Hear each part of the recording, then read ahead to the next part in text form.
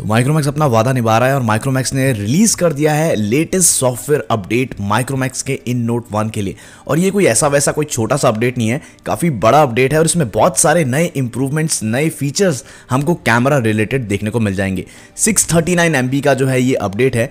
तो अगर आप इन नोट वन यूज़ कर रहे हो अपडेट करने से पहले इस वीडियो को देख लो। यहाँ पर बात करेंगे कौन कौन से फीचर्स नए आए हैं, इस अपडेट में हमें क्या मिल रहा है।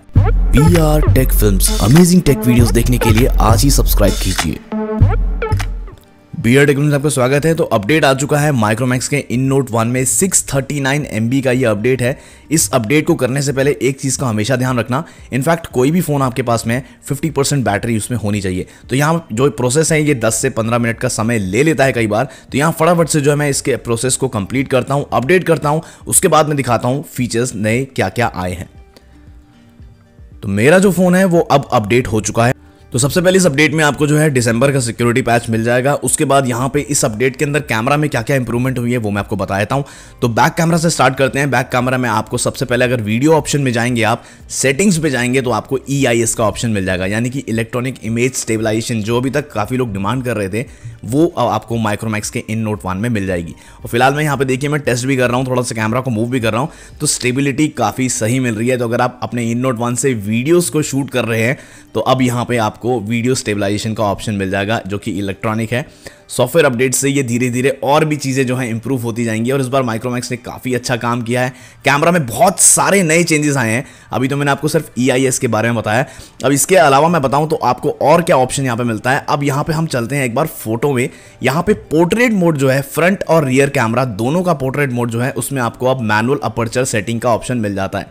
तो पहले यहाँ पे एज डिटेक्शन वाली जो प्रॉब्लम आ रही थी ना, थोड़े बहुत एजेस को डिटेक्ट नहीं कर पा रहा था इसका कैमरा फ्रंट और बैक कैमरा दोनों का पोर्ट्रेट मोड जो है अब यहाँ पे जो है ऑलमोस्ट काफ़ी हद तक जो है इम्प्रूव हो चुका है। यहाँ पे मैं आपको एक छोटा सा सैंपल दिखाता हूँ। वो भी और फोन्स के साथ में तो यहाँ पे आप एक पिक्चर देख रहे हैं, जिसमें आपको IN Note one Realme six और रेडमी नोट नाइन तीनों फ़ोटोज़ जो हैं डे लाइट में ली हुई हैं। यहाँ पे ये जो है, ये पोर्ट्रेट मोड है तो आप देख सकते हैं यहाँ पे अब एज डिटेक्शन कितना सही मिल रहा है और कलर्स भी काफ़ी हद तक जो है नेचुरल देखने को मिल जाते हैं।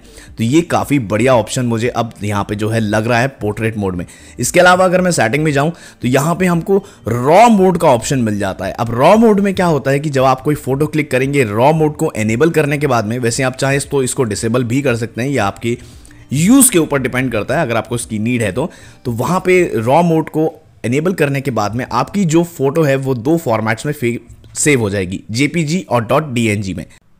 अब इसके अलावा फ्रंट कैमरा में एक नया ऑप्शन आपको मिल जाएगा। अगर आप फ्रंट कैमरा में जाएँगे तो आप वहाँ पे आपको देखने को मिल जाएगा एचडीआर का ऑप्शन।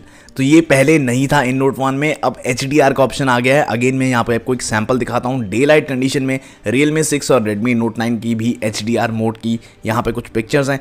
तो आप यहाँ पे कंपैरिजन देख सकते हैं। डे लाइट में कितनी बढ़िया फ़ोटोज़ मिल रही है हमको इन नोट वन में। एचडीआर मोड जो इसमें आया है फ्रंट कैमरे में, काफ़ी बढ़िया तरीके से इस समय जो है काम कर रहा है।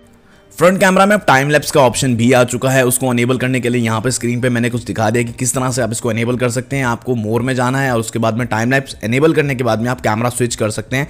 टाइम लैप्स का ऑप्शन पहले इस फ़ोन में नहीं था। फ्रंट कैमरा में वो अब यहाँ पे हमको देखने को मिल गया है।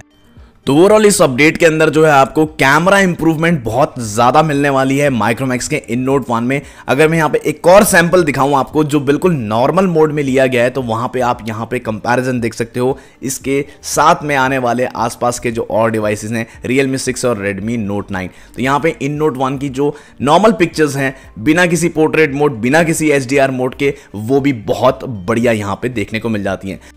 तो इस अपडेट के अंदर आपको कैमरा में बहुत सारी नई चीज़ें देखने को मिल गई हैं कैमरा में इंप्रूवमेंट्स देखने को मिल गई हैं। इसके अलावा सिक्योरिटी पैच लेटेस्ट वाला मिल गया है आपको। दिसंबर का, जो कि बाकी फोन्स में भी दिसंबर का ही अभी मिल रहा है। अब यूज़र इंटरफेस जो है, वो भी थोड़ा सा स्मूथ हो गया है, क्योंकि माइनर काफ़ी सारे बग्स ऐसे होते हैं, जो हमें पता नहीं चलते एज अ यूज़र वो भी यहाँ पे फिक्स हो चुके हैं। तो ये अपडेट्स अब जो है बैचेज़ में रोल आउट होती है, हर कंपनी यही करती है, क्योंकि जो अपडेट पुश आउट होती है, वो बैचेज़ में होती है। मुझे मिल चुकी है, आज के दिन में काफ़ी लोगों को मिल चुकी है तो आपको भी जल्दी से ही मिल जाएगी। इस अपडेट को अपने फ़ोन में इंस्टॉल कीजिए और थोड़ा सा और स्मूथ एक्सपीरियंस और नए कैमरा फीचर्स का मज़ा आप ले सकते हो। मैं अगले वीडियो में मिलता हूँ कुछ और कमाल के गैजेट्स के साथ, कुछ नए टेक के साथ में। इंस्टाग्राम और फेसबुक पर मुझे ज़रूर फॉलो कर लीजिएगा। डिस्क्रिप्शन में सारे लिंक्स है। अगले वीडियो में मिलता हूँ।